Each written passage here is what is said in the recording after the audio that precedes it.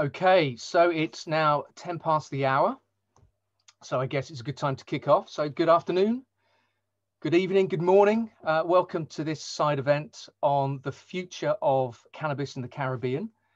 It's organized by the Transnational Institute in Amsterdam, the Interdisciplinary Center for Cannabis Research at the University of the West Indies, and the Global Drug Policy Observatory at Swansea University in the UK. And it's connected to a research project funded by the UKRI Global Challenges Research Fund.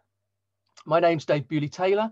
I'm the director of the GDPO at Swansea University, and it's my pleasure to be moderating today's session.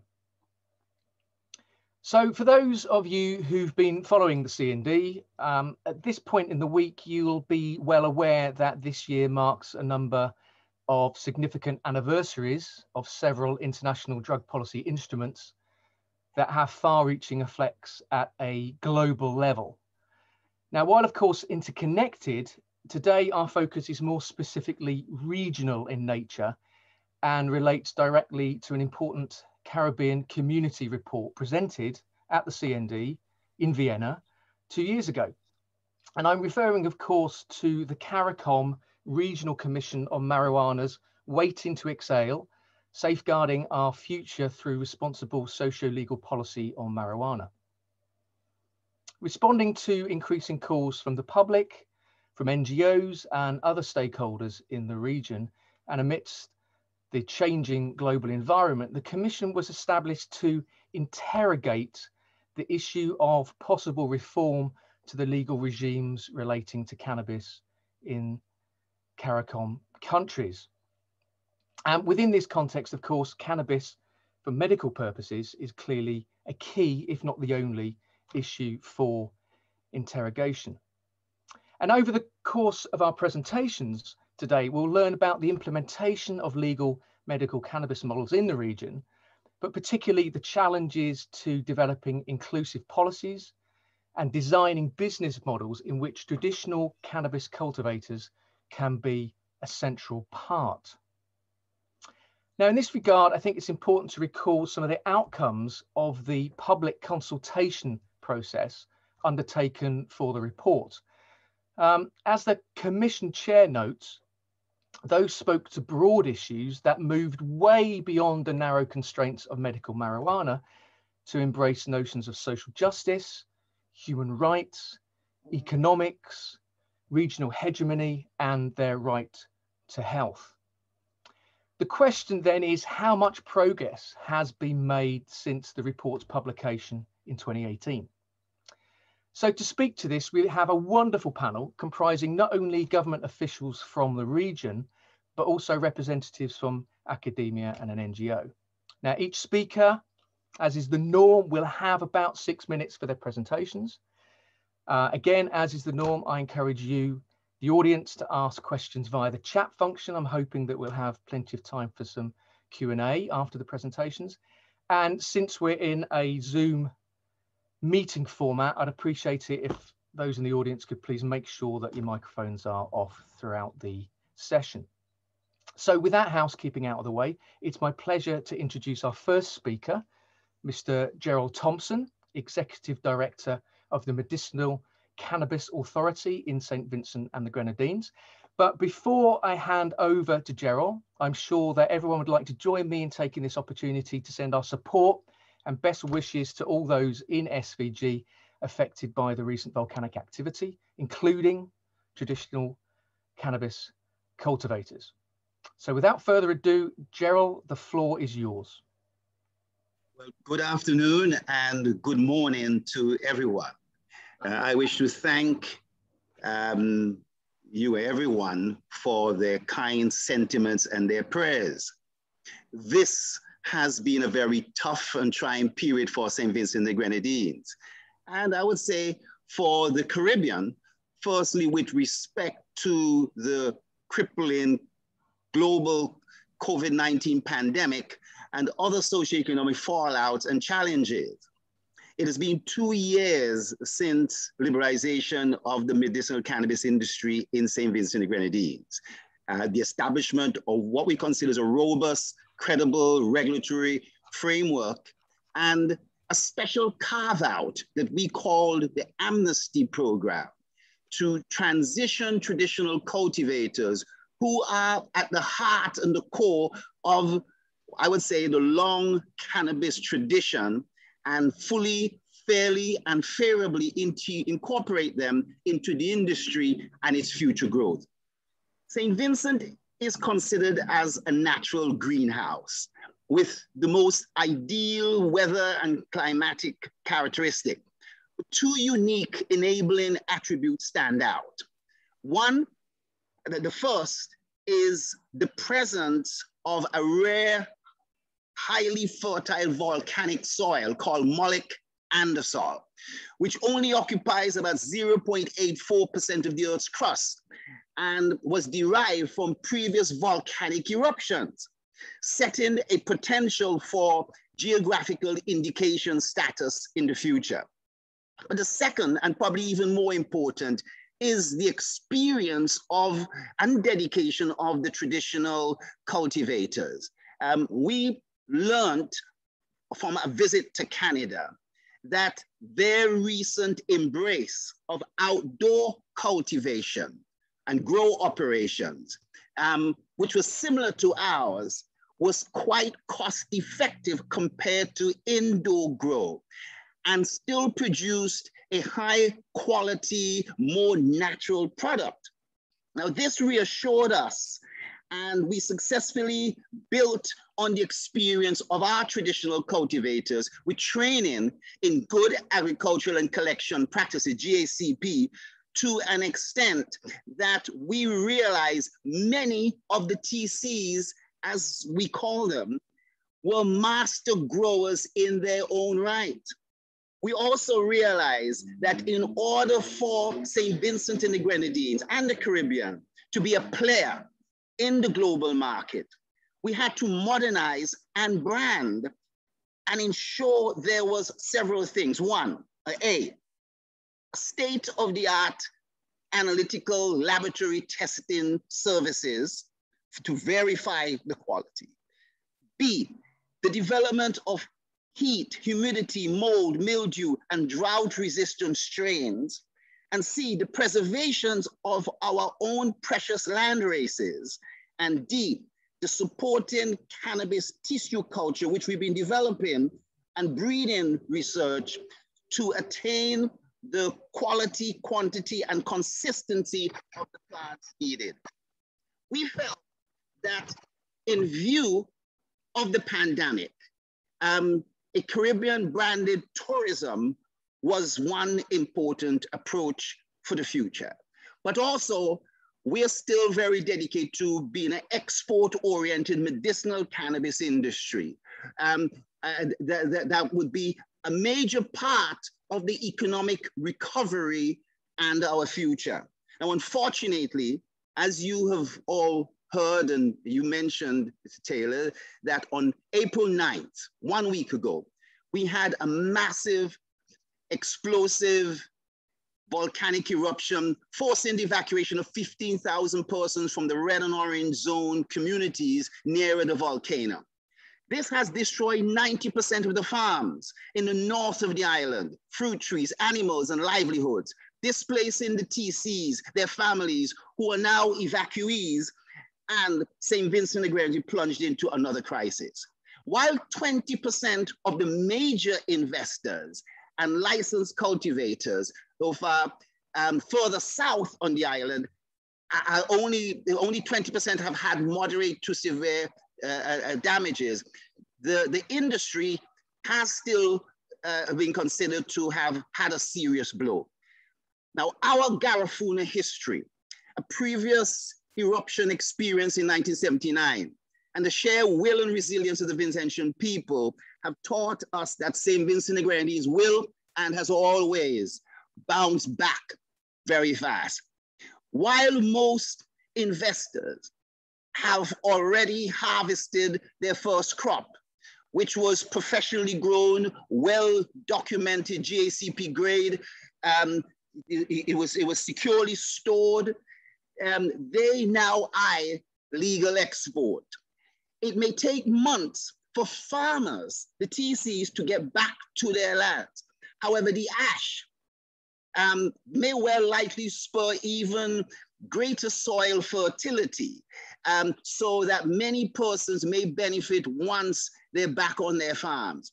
We appreciate that when it is considered safe to do so, there would also be streams of sightseers and visitors, tourists coming to visit the, see the volcano, to experience the whole medicinal industry culture that we're looking to create here in St. Vincent and the Grenadines.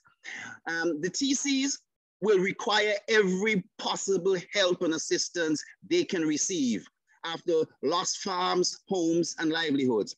We in. Vincent believe there is an opportunity to market TC grown products which can help rebuild their livelihoods while we also promote an export industry. Recently, we would have had discussions with Antigua and Barbados with the whole concept of again looking at interstate and, and seeing if these could be something possible when we want to learn more about this concept. But the UN CND's vote um, in November last finally acknowledged the medicinal benefits of cannabis, while the TCs and Rastafari have been stating this for almost three quarters of a century while crying in the wilderness. The MCA and the government of St. Vincent Green will do all that it can to ensure they have a fair and permanent seat at the table, that they benefit in any Caribbean thrust, and there is a response to their proud cry and plea for assistance. I want to thank you very much. I look forward to answering any questions. Fantastic. Thank you very much indeed, Jerrol, for that wonderful overview of the situation within SVG and, and the, the central place of what you call TCs, the traditional cultivators, uh, within the emerging system there. And I have to say, I admire your your positivity around the current situation and highlighting the symbiosis between the volcanic activity and the fertility of the soil and therefore the, the marijuana uh, crops um, within the island. So thank you very much for that. So from the S, S uh, from SVG, we now move um, northwest across the Caribbean. Uh, it's my great pleasure to introduce our second speaker. It's Faith Graham. Uh, Faith is the CEO of the Jamaican Cannabis Licensing Authority. The floor is yours, Faith. Thank you very much. Good morning, everyone. I'm so happy to be here to share. Um, I'm anticipating from a, a, robust regional cannabis industry. And, you know, I just wanted to really congratulate our our Caribbean counterparts for their for, for launching their regimes and so on. St. Vincent, my heart goes out to you. You know, we know that you will bounce back because we can hear the resilience in your voice on alone. You know, so just want to acknowledge Antigua and Barbuda, St. Vincent and the Grenadines, Barbados, um, Trinidad and Tobago for their re regime. Trinidad and Tobago recently um, launched their cannabis control bill and invited our comments on, on it. And that is like the beginning of partnership we have also been having um, information sharing sessions with Barbados, which is very good for the industry and for the region, you know, because um, through these discussions, we can find ways to tap into that hegemony that we speak of. Um, implementation of the legal medical cannabis industry. Well, in Jamaica, um, our legislation, the Dangerous Drugs Act was amended in 2015 to establish the CLA and the CLA has since promulgated interim regulations to manage the industry. Um, for, and we are responsible for both hemp and ganja. Um, now, we issue five license types at this time, and up to, to date, we have issued 78. Um, we have cultivators licenses, processing licensing, retail, herb houses, research and development licenses, and transportation licenses. Now, um, there, there we have made provision in our um, interim regulations for inclusion of the small farmers, small subsistence farmers, and of course, we can't leave out traditional farmers. We kind of make a subtle distinction there in terms of the, the, the, the um, genesis of the different um, cultivations. Now, Jamaica, our, the provisions that we've made in our existing regulations include um, allowing applicants to be cooperatives and friendly societies, you know, we we know that um, financing is usually a challenge. So we have provision for waivers and deferment of fees and uh, even payment plans. In the Caribbean region, we have land ownership challenges always. And what we have sought to do through our regulation is to um, allow persons to use land once we can get statutory declarations to say that they have claim to this land and also um, if they have consent to, of the owner of the land to use the land. So that is how we enable um, access without even having the certificate of title. Um, of course, the, the, the, law makes provision for expungement. So a lot of our traditional farmers might have had uh, run-ins with the law because of even simple possession of marijuana, of ganja, we as we call it, and um, would have excluded them otherwise. So the expungements really do tap into that after a certain period of time. Now, notwithstanding all of these provisions, we find that there are challenges and um, to, to, to, to access, mainly, mainly stemming from um, the ability to access financing because of the correspondent banking issues that still um, are prominent in, in the cannabis industry. The banks are de-risking and therefore do not want to support cannabis businesses. So they'll tell us in principle they support the industry, but at the same time, they're not willing to risk their correspondent banking relationships that we have with the United States and even the insurance companies too. Um, so we're looking also testing and standards. These are things that can exclude persons. So of course, what we have sought to do, because they are, they are necessary for safe consumption, both locally and abroad, where the, the authority has made um, significant progress in partnering with others to enable testing. And also our local Bureau of Standards has promulgated seven standards for the industry, which we are seeking to incorporate in our regulations. We have now taken another approach to the inclusion issue for the um, small subsistence farmers, being that the provisions thus far have, the optic has not been great. And so um, we have recently con conceptualized a cultivator's transitional special permit, which is specifically um, geared towards small subsistence farmers as an avenue to get them into the medical cannabis industry. What it will do, we, they will be issued with a permit, which will allow them to enter the industry, um, but at reduced cost and reduced infrastructural build out whilst maintaining all the security requirements. So the cost factor is what is prohibitive, and this is this permit has cut it in half for them, cut the price of the license in half, cut down the infrastructural requirements, and they are able to trade with other licensees, with licensees. And over, we expect that over 24 month period, they will incrementally matriculate to becoming a full licensee. And this is not a renewable, this is not a renewable permit, so that they have to we so we'll provide the guidance with them to help them to get to that point. Now, if we see them approaching their 24 month period and not being able to matriculate, then we, we have the discretion to give them an additional six months to complete their transition process. And by the end of that process, they should be able to be a cultivators tier one licensee, which would have the full benefit of license, which would cause them to be able to export, among other things. Now, um, we are there signs that we are moving away from medical cannabis? Well, um, from the medical cannabis regime.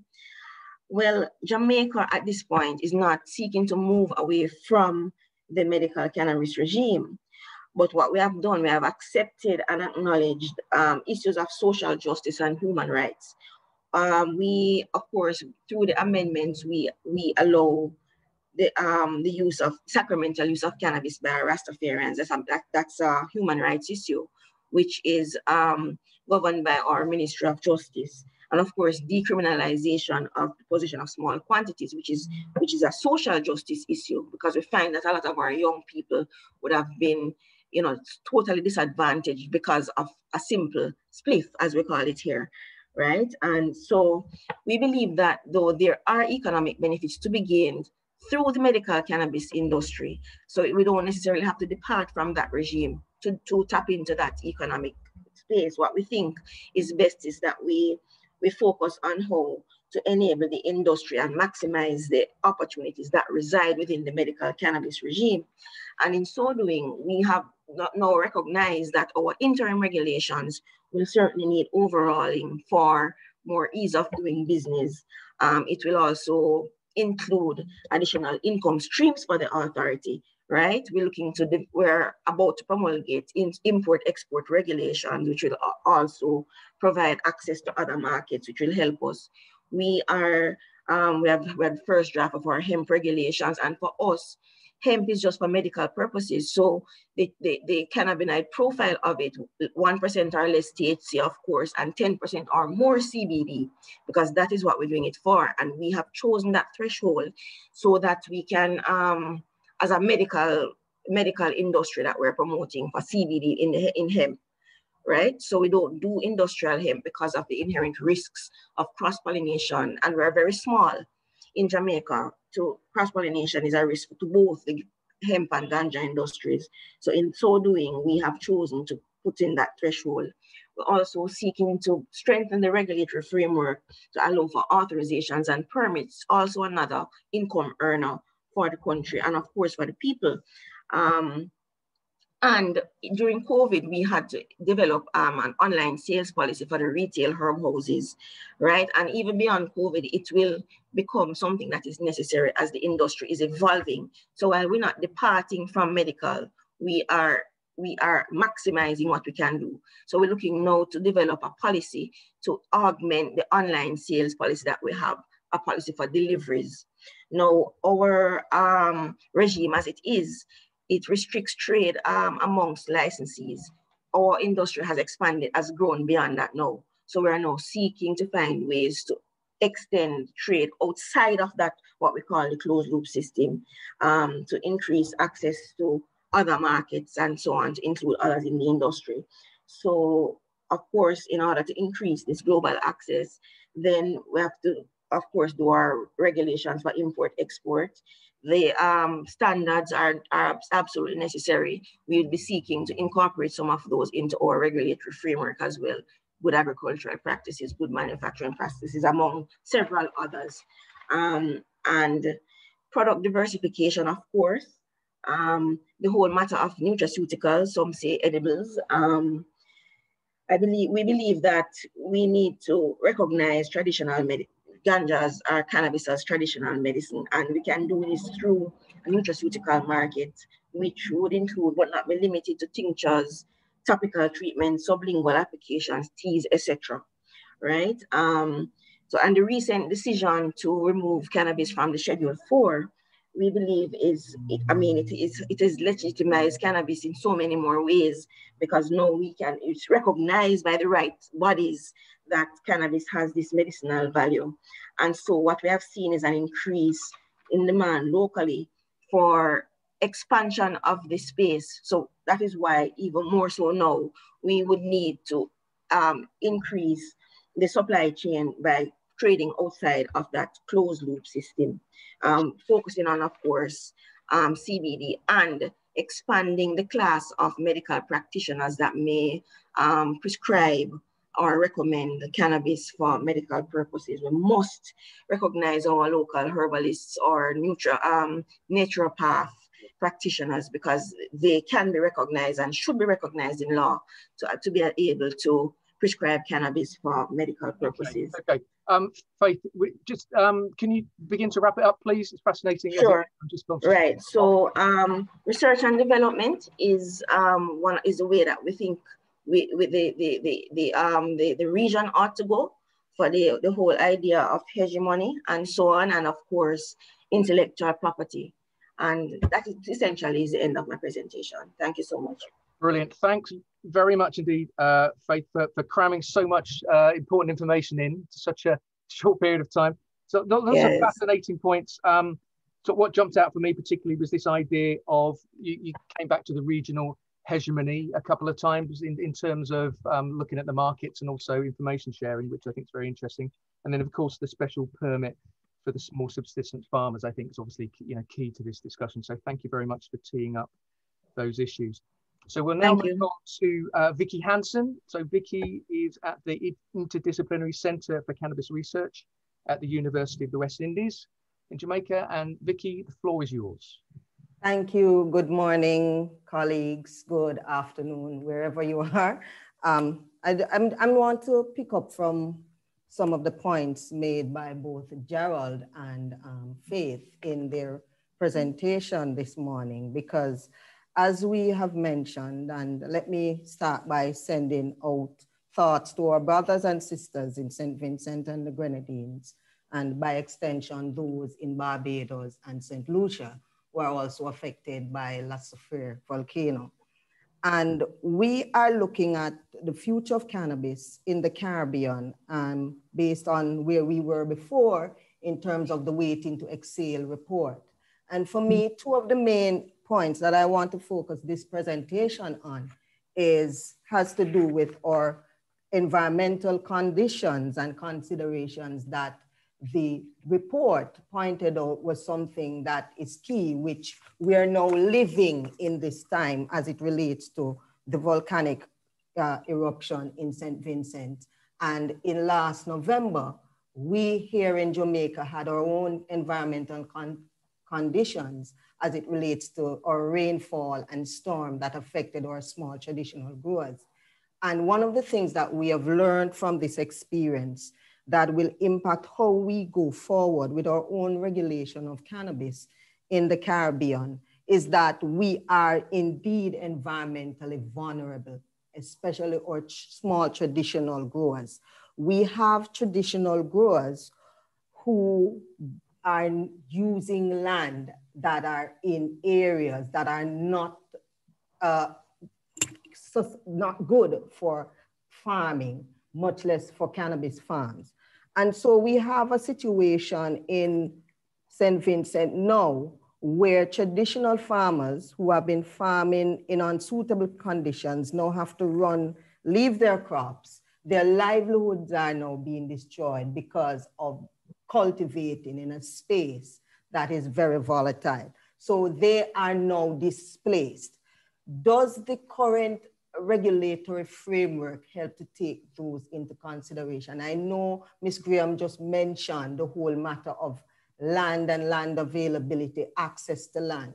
That is something that the report spoke to in 2018 that still remain with us, even in our medical framework.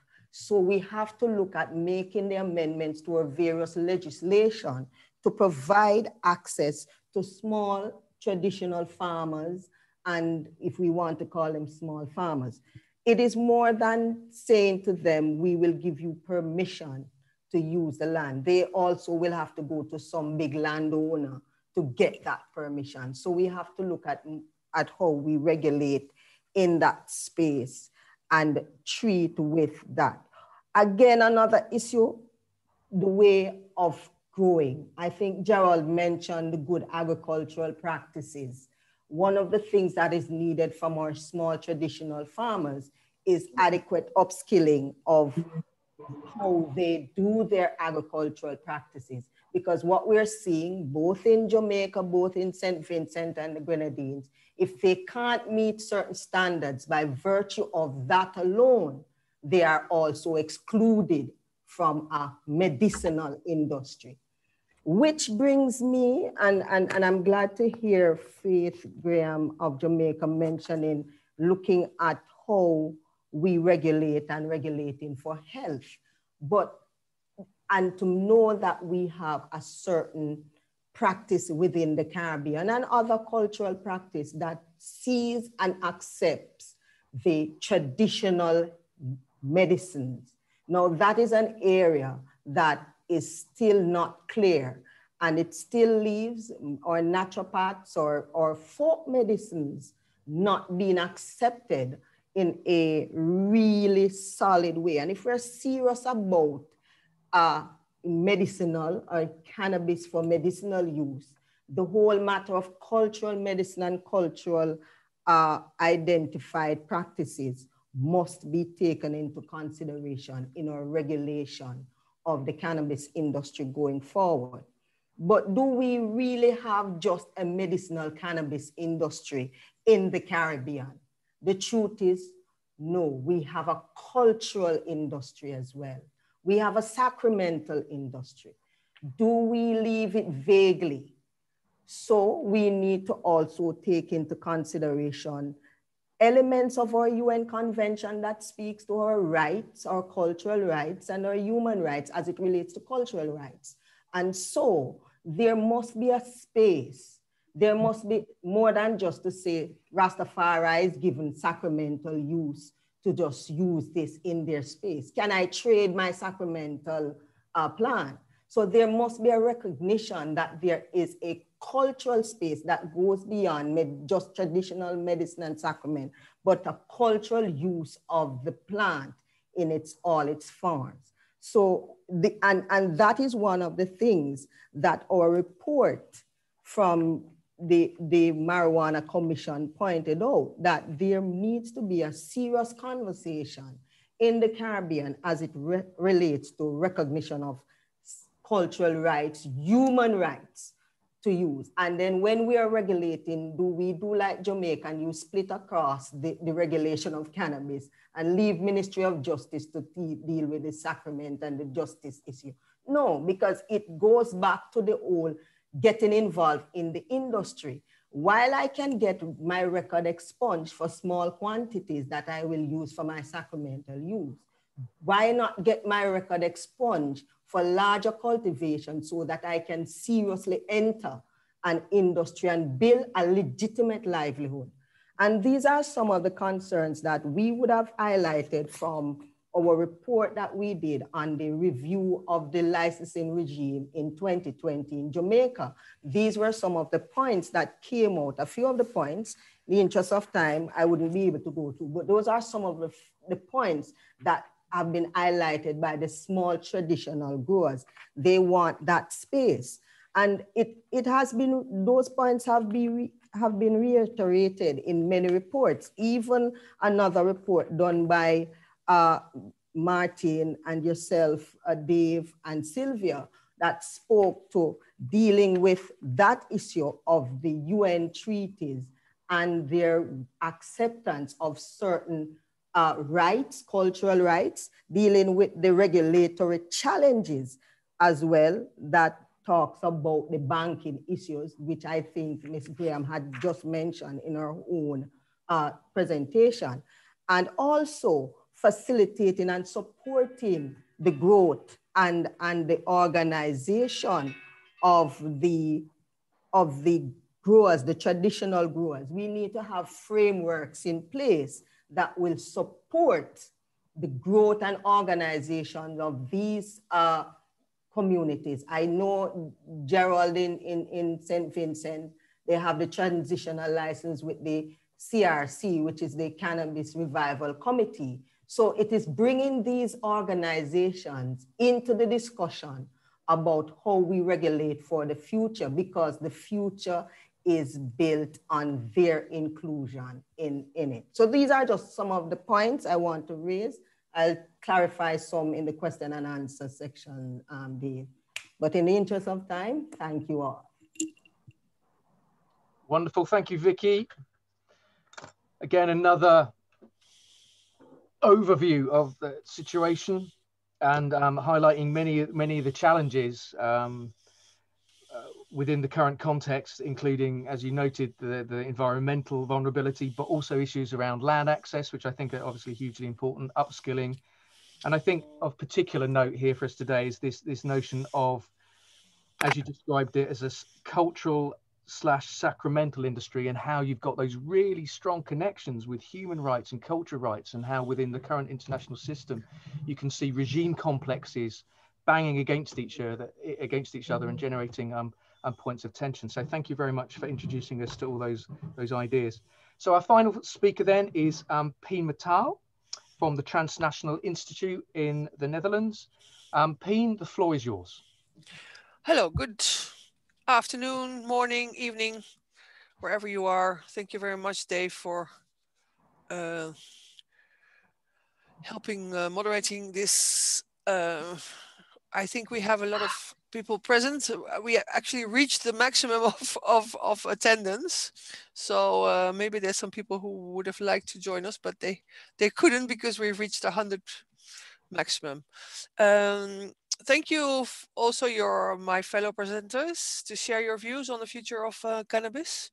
Uh, I would like to start to express my solidarity with the people of St. Vincent and particularly all those directly affected by the outburst of the volcano, amongst whom are many cannabis cultivators, as we know, and the many other uh, people in the region feeling the negative impacts of the ashes that are going around. Growing on such fertile, fertile land brings wonders, but uh, carries enormous risks, as we have seen. So um, I would like to use this opportunity to present uh, a new report that uh, the Transnational Institute has made. Um, it's called A Sustainable Future for Cannabis Farmers, Alternative Development Opportunities in the Legal Cannabis Market which is quite relevant for this discussion on the future of cannabis in the Caribbean, but also in other parts of the world. You can see uh, the slide here and you can also see the link later to download it directly from our website. After more than uh, 50 years of policies that pretend to find a solution to cannabis cultivation as a result of its prohibition, not too much has changed. As you will find in the report in detail, the early ideas around crop substitution during the 1960s in countries such as Lebanon and Morocco have fed into policies of alternative development and shared responsibilities. Two concepts that have evolved around the question how cannabis cultivators until this uh, could be provided with an alternative livelihood until this very day in the UN. What this report shows is the immense gap between theory and practice and the hard fact that AD in its current form has not worked and will not work for overwhelming majority of communities involved in this kind of cultivation. the report argues it is time for change and that this discussion now needs to be revised given the change in circumstances. Although prohibition has not ended, an increasing number of countries around the world are challenging the global regime by allowing a legal outlet for cannabis. We argue in this report these changes should provide a part of the answer for those for the issue at stake, a sustainable future for cannabis farmers requires their involvement in the emerging and fast developing medical cannabis industry. The rich history of cannabis and its use around the world is reflected in this report, which has always been a very effective and useful resource for people until its prohibition changed that fate. In historical terms, this delusion is based on confusion and moral uh, opinions more than on science and on logic, and now is finally starting to be repaired. Although the looming danger of a complete pharmaceutical capture is unfortunately quite real. And the only way to prevent this from happening lies in the hands of our policymakers. This report was a joint effort of several authors, led by the program director Martin Jelsma it describes the extent of the subsistence economies, seen, seen from the perspective of all global traditional communities that are involved in the cultivation of the plant. It provides analysis of all regions in the world, from Asia, Africa, Latin America, and the Caribbean, and gives an overview of the newest developments of policies for legal cannabis regulatory frameworks around the world. An interesting perspective that has surfaced in some countries is the concept of alternative development with cannabis, which was actually inspired by the Bolivian model for development with coca. We argue in this report that trading cannabis must become inclusive, a fair trade, in order to address the issue of poverty and the marginalization of communities now facing economic hardships. One chapter in this report will inform the reader on the risk of corporate capture of the global medicinal, medicinal cannabis market that the global medicinal cannabis market is now facing and what an inclusive business at the global and the global value chain offer in terms of an alternative that will help build a fairer trade and sustainable development. Aiming at finding a broader perspective on the matter of rural development, the report also reflects an attempt to grasp, grasp the dynamics of agrarian change. How does land, labor, and capital interact with cannabis production? And to what extent the environmental impact of cannabis cultivation can be appreciated and dealt with? Furthermore, it must be obvious for, the, for most that questions around identity, race, and gender are also relevant to this change. So these are also included in this report. Policy changes and the fast growing legal cannabis market may offer new opportunities for small farmers to transition into legality. Although to date, there has been little progress in this regard. Barriers to entry are high and few protective legislative measures provide prefer preferential access to small producers. The reality is that the billion dollar medicinal cannabis market has been captured by big corporations and that the emerging legally regulated markets for non-medical, recreational use are strictly based on an import substitution model pushing out the previous suppliers from traditional producing countries.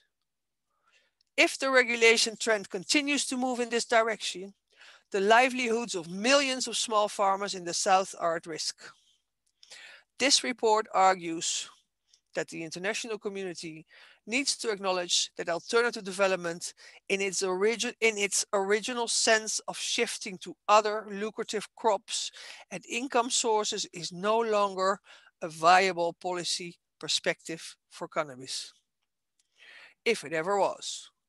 The report will give you some concrete suggestions for alternative development with cannabis, making use of the new opportunities offered by the expanding legal cannabis market.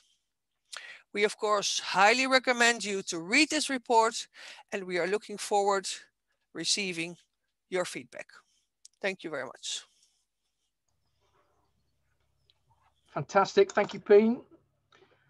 Uh, thank you for, uh, uh, again, a wonderful overview of the contents of what I think is clearly going to be a, an important and groundbreaking report, very timely, covering a vast array of, I think, critical issues around um, what you've called subsistence economies. And I think the one of the critical points that you mentioned is the need to engage with traditional farmers now on the ground floor as the as the business and the this new industry is beginning to evolve. Okay, so looking at the clock, um, I'd just like to say thank you to all our um, presenters today. Set us up wonderfully for some questions. So we have got time for some questions, which I will try to moderate fairly here. So I'll kick off with one from uh, Nicholas Martinez to everyone which speaks directly to something that Pien just mentioned. Uh, Nicholas asks, which mechanisms have the Caribbean countries to protect the small traditional cannabis farmers from multinational corporations? So really, this is an issue about corporate capture, I guess. So um, can I first of all go to Jerrol on this question? Jerrol, would you like to respond to that a little? Yes, you know, we essentially have a process within our um, legal and regulatory structure that uh, an investor who basically must purchase um, a certain amount of product, a percentage of product from a traditional cultivator.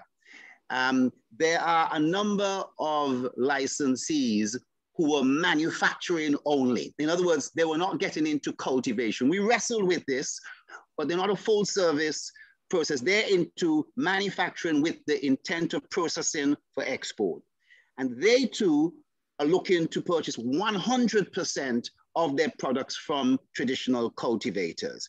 Of course, that means that whole process of GACP and making sure that all the traditional cultivators and so forth are within that framework can serve uh, that there's some exclusionary processes. But I think we've been, you know, doing quite well with that training. It's just that we have to do this a lot more intensely to make sure. And a lot of the GACP is documentation, that whole process of being able to document what is really being done, uh, because we already feel that the quality is fairly high. How do you document that, you, that, that your processes are, are, right? So I think that um, that model is uh, um, quite an acceptable model. Traditional cultivators can and are allowed within the framework to export themselves, but the, the, the, technical barriers to trade and so forth will always look to rest, restrict that particular process.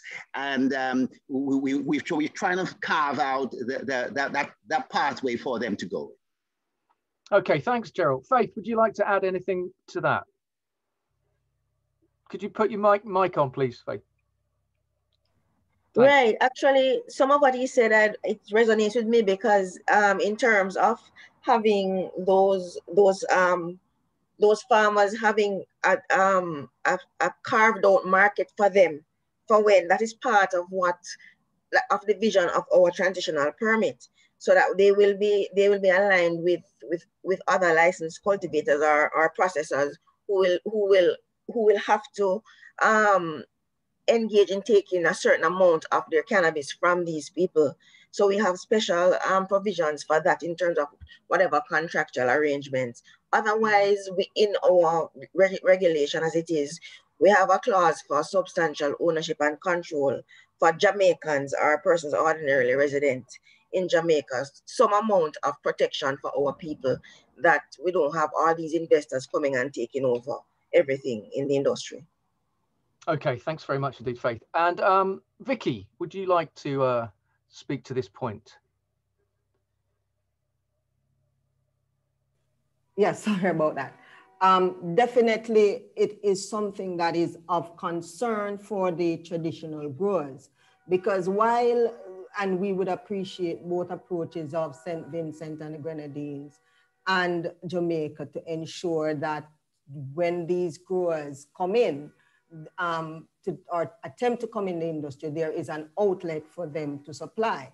However, the, the, the feeling is that they are going to be overwhelmed by these corporations and they now become more of labor rather than source of, of supply. And so the regulations need to be clear. And I think going forward, it is more than saying, okay, you can supply to this big company, because it would mean that the traditional growers will have to meet the terms and conditions of big corporations. And I think this goes to a question that I see in the chat. What is the market space that you are creating for these small traditional cultivators? So are we just looking at them meeting an export market that let us speak the truth, no, doesn't exist now or will exist until there are significant changes in the UN conventions, right? Because we are now looking at the barrier to import export because countries are insular, because there is this UN convention that governs trade in cannabis it, it can only be under certain con conditions. And so in looking at corporate capture, we have to look at it in the big picture of the industry that we are building.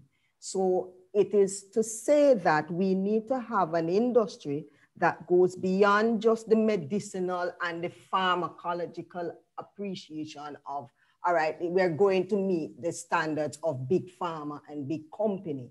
What market space are we creating in the domestic environment, in the international environment? Are we looking at the cultural, and I come back to this conversation, the cultural rights to trade with, just like how we would do reggae music.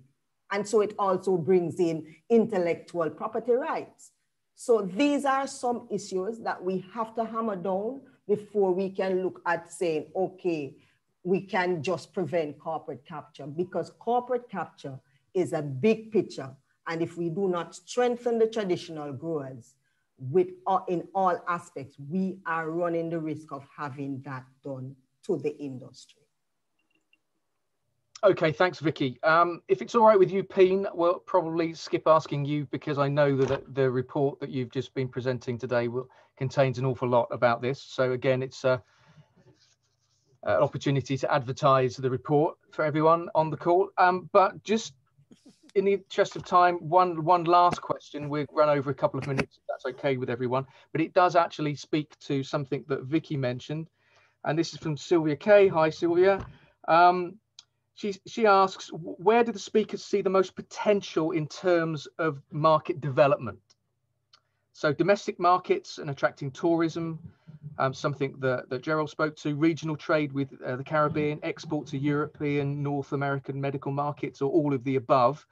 And as a follow up, what are some of the major opportunities and challenges related to developing these markets? So can I go to you first, Jerrol, on that bundle of questions that I've just thrown in your Yes. Direction? You know, I look at corporate capture in two respects as it relates to this question. There is a company coming into St. Vincent or Jamaica or the Caribbean, and how does it interact? And then I look at the competition that the Caribbean has with other jurisdictions, such as Canada, or if the United States opens up and so forth. I still don't quite understand the vote at the UN in terms of whether it seemed to be a reversal of the 1961. The countries that supported, um, you know, in 1961 were the one who wanted liberalization and the ones who were against, you know, moving on to the, the, the single convention and now want to sustain what is there. And so I, I'm curious if those individuals, so with the Russias and so forth, the African countries were just suspicious that certain other countries wanted to get the international capture that would prevent any Caribbean island, as a Caribbean as a whole, gaining such access in terms of the industry. So, but I think that we have to look at one, some aspect of collaboration, and then based on quality. And so we have to have that good quality so that we can't be criticized in that regard and still follow those technical issues. But I think that there may be some lobbying, Pien, that needs to be done to find out necessarily, maybe through diplomatic channels, why those countries voted the way they did, and whether it was just that they, they, they felt that CBD shouldn't be this or, or, or, or those other things. They wanted to stop this synthetic drug from gaining market access. I want to really get a much bigger perspective, and I'm hoping there can be a supplement. Maybe maybe Martin, uh, Gerald Summers, or, or somebody could give us some aspect on that, so it could better allow us to to to know how to penetrate the international market, which is an important thing. And by and large, um, the tourism market, I think you're going to see a lot of people coming to St. Vincent in the volcano. Uh, um, we, we, we, we're going to be marketing good herbal products for them. Thank you very much, Jerrol. I'm sure TNI will be really pleased that you're putting some more work in their direction. Um, Faith, would you like to uh, pick up any of the any of the points Jerrol's made and, and answer some of the, the questions? Yeah, yes. Um, actually, health and wellness tourism. I think this is, that is that is one of the ways that we must go. I mean, right now in Jamaica we have um, provision for tourists or visitors to access, but I think it needs to be much easier for access. So that is something that we're looking to change, you know, because otherwise we, we won't be able to develop that sector. And um, definitely nutraceuticals I mean, I believe that there is a there is a safe way of of, of, of producing edibles, right? And so I believe that that is the way we ought to go because the market really wants that. You know, ed edibles, you want to call it nutraceuticals, you can call it that, but there is a way. And of course, looking beyond just the cannabis itself, but the, the waste from cannabis. I mean, biomass, you know, there are poten there's potential there, energy and that kind of thing. So these are some opportunities that arise. I do believe though that what would really help, and we really don't see the, in, the industry thriving with, without the small farmer. And so it would be certainly um, welcome if the, the banking situation, because, because it, we have to be real and realistic. Um, capital is necessary for any venture, right? And that's, that additional support, especially in times like these, would really be necessary. You know what I mean? And the testing capabilities that are required also to tap into those external export markets and so on. Those, that, that's, a, that's an expensive venture. And in Jamaica, we don't have the capacity in any one place. So now we're seeking to find other means of the getting the testing done so that we can have safe consumption locally and for export. Okay, thank you, Faith. And then um, just uh, maybe a couple of uh, minutes, Vicki, final response on this question, if you'd like to speak to it. Yeah, I, I, think the market space is multiple, not just tourism, but multiple. And that is why for, for, for me, the importance of intellectual property and branding and inclusion of branding is where the small traditional farmers will have their cut and their space. I, I made a comparison with reggae music. It is the same. It's, it's what is it that we are branding and selling because where it once it opens up and it will open up what competitive advantage are we bringing to the table and which i think why it is important that that report that was done even the current report but the one that was done by yourself dave and sylvia and martin on fair trade is an important conversation to have at the table because there are other issues that goes into deciding and working with within any market space that we choose to. The issue of gender the issue of how we treat with human rights. And all of that is encompassed in the branding element. And some regulatory framework must be set to treat with those intellectual property rights because there are other other things that will prevent access for your TC, your traditional cultivators, or your small farmers from coming into whatever market space. I feel. Okay, thank you, Vicki. And Pien, would you like to uh, speak to this point? Well, just a brief comment. Um, I think I think there is quite some potential in developing a regional Caribbean market uh, because of the fact that there's quite some other places where cannabis is not uh, grown and or hard to grow because of the climate or the land and the soils. So, I mean, as a first step, it would be interesting, and I think St. Vincent is already looking into that to develop some kind of regional market for this, for this, for this in this first phase of uh, developing responses. Uh, as the CARICOM report also suggested, and I think there are quite some other points in there that could be taken into account. And I would really like to have some more Caribbean voices heard in the in the CND uh, because of their, their, there's very few of them. So yeah, that's basically what I want to add. Okay, brilliant. Thanks a lot, Pien. So um, the clock certainly has beaten us. In fact, we've we've lost our race because we're nearly uh, um, 10 past the hour.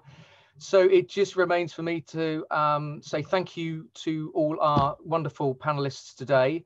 And at this point, I think it would be appropriate for everyone to switch on their microphones and a quick round of applause if that's at all possible. I don't know if that will actually work, but anyway, yeah.